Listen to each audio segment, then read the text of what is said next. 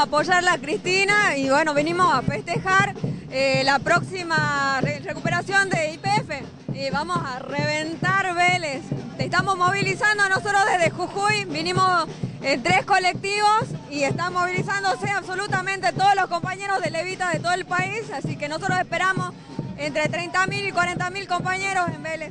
Como siempre, como hace este, cuatro años, estuvimos el año pasado en Huracán y el, año pasado en Ferro, ahora como siempre acá en el Estadio de Vélez acompañando a la compañera Cristina.